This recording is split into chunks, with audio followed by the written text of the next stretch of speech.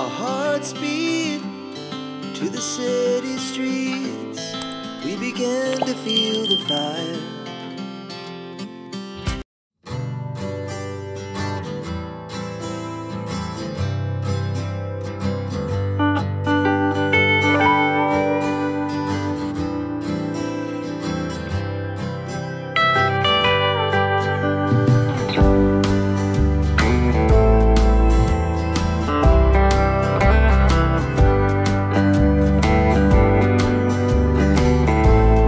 Mga mamshi, nandito kami sa Biluna or Bilyona. So paano ba i-pronounce niyan? Charis. so magtitingin-tingin kami mga mamshi ng ah, kama para sa anak namin dahil yun na nga balak talaga namin siya bilhan na ng sariling higaan niya. So itong brand na to mga mamshi is kilala dito sa Turkey at good quality siya.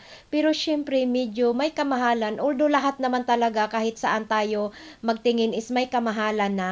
But ayan, magtitingin-tingin kami dito ng pasok sa aming budget. So, ayan mga mamshi, after kami nagtingin dito, may nagustuhan ako. But sabi ko kay Dodong, tingin muna tayo sa iba. Baka meron doon mas mura pa. So, lumipat kami dito sa Istiqbal. So, kilala din ito mga mamshi ang Istiqbal dito sa Turkey at good quality din siya. So, meron na akong nagustuhan dito mga mamshi but hindi pa ako nakapag-decide kasi doon sa una naming pinuntahan, meron din akong nagustuhan. Mas mahal doon ng konti pero mas gusto ko yun siya 2,000 years compare dito later. sa isa. Kaya sabi ko kay Dodong, uwi lang muna tayo at pag-isipan ko muna, babalik na lang tayo. So, ah, after uh, two days mga mamshi, pumunta kami sa Istiqbal din but ibang, kumbaga ibang branch na ito siya. Bu iyi yataklı. Şey var mı burada? Var masa var. Masa var iyi. Tamam mı? Evet. Bazası, uyku seti, uçu, organ her şeyi koyun. Rutubet için hava alma yeri var. Emniyet sistemi var. Profillerle destek var. Bunda 5 yıl garanti var. Altına süpürge vilada yeni çıkan robotlar giriyor. Yatağa bak. Yatağı full orta elektrik çift taraflı. Bir yüzüğü orta yumuşak. Altı daha sert. Bu çıkıp temizlenebiliyor. Bunda viskojel özelliği var. Yaz kış vücut ısısını korur. Yatağa uzanıp deneyebilirsiniz. Şey o aynı mı? Başka bu. Ne kadar bu?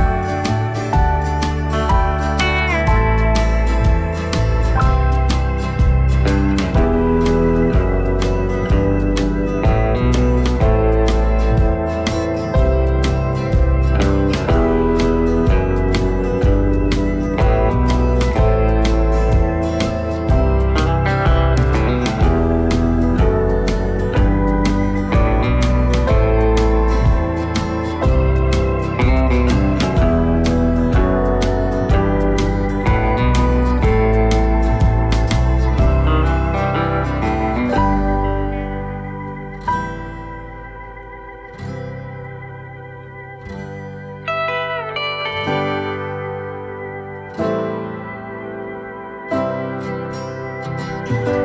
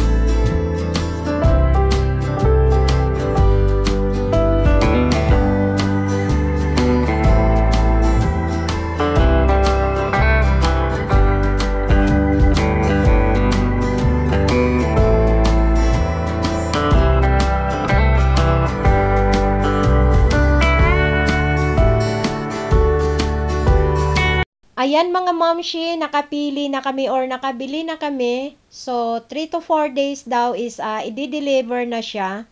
Ang price ng aming uh, binili mga momshi is 12,000 Turkish lira or 19,992 sa pera natin. So, parang pumapatak na din siya na 20k.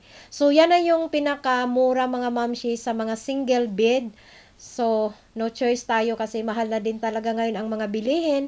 But, uh, okay naman siya kasi good quality naman itong uh, stick ball. So, buti na lang din mga mamshi, hindi ako uh, nagpadalos-dalos ng aking desisyon doon sa una naming pinuntahan na stick ball din uh, parehong-pareho nitong aming binili. But mahal siya doon, di ko alam kung bakit ganun. Pareho lang naman sila na ano. So, 13,000 higit doon. So, ayan mga mamshi, ito lang yung ating vlog for today. Thank you for watching. Bye-bye!